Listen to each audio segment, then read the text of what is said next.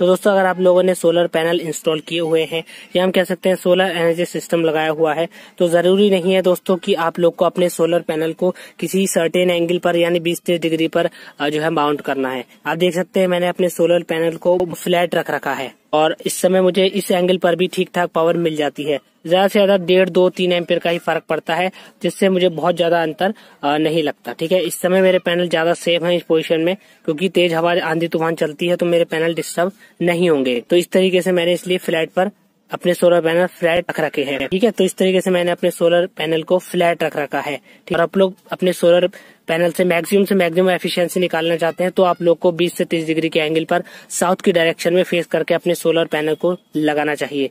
मुझे बहुत ज़्यादा एफिशिएंसी का यहाँ पर इशू नहीं था। मुझे ठीक ठाक एम्पियर मिल रहे थे तो मैंने अपने सोलर पैनल को फ्लैट ही लगाया है। Thank you